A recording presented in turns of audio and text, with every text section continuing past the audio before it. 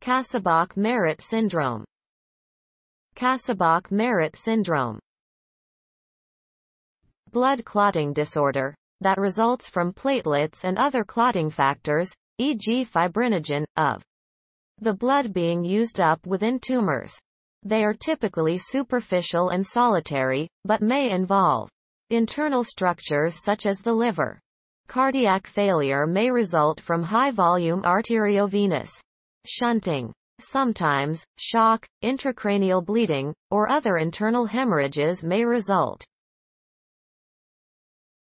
Symptoms, epistaxis, conjunctival hemorrhage, bilateral periorbital ecchymosis. Signs.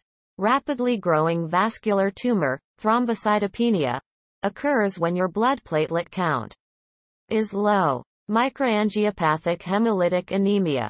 Results from physical damage to the red cells. Following the occlusion of arterioles and capillaries as a result of fibrin deposition or platelet.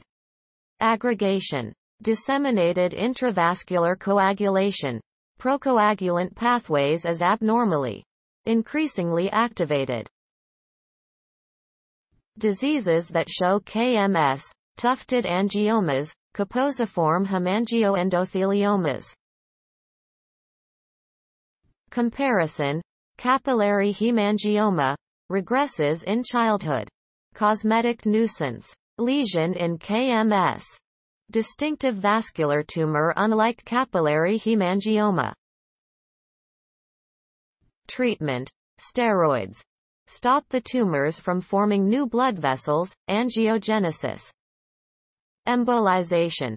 Blocks blood vessels to starve the tumor cells, helping shrink the tumor and restore a normal platelet count. Sclerotherapy. Injects medicine into the vessels, making them shrink to help shrink the tumor and restore a normal platelet count. Surgery. Remove the tumor. Platelet transfusions. Rare, because these can stimulate growth of the tumor.